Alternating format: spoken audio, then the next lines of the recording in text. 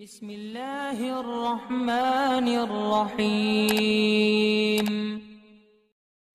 وعلیکم السلام ورحمۃ اللہ.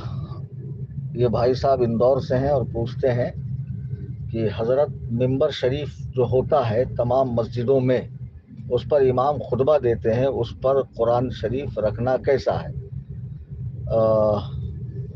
نہیں رکھنا چاہیے، چونکہ اس پہ امام بیٹھتا بھی ہے، پیر بھی رکھتا ہے۔ اگر رکھا بھی ہے قرآن تو اس کے اوپر رحل رکھ کے قرآن شریف رکھنا چاہیے۔ یہ قرآن پاک کے آداب میں سے ہے۔